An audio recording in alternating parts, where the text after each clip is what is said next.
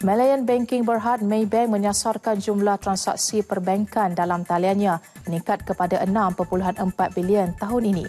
Peningkatan ini dipacu oleh laman web baharu Maybank to You yang akan dilancarkan kepada umum pada 19 April ini. Sejak perkhidmatan dalam talian diperkenalkan pada 2000, jumlah transaksi menerusi platform itu mencatat peningkatan kukuh setiap tahun dan mencecah 4.27 bilion transaksi bernilai 318 bilion ringgit pada 2017.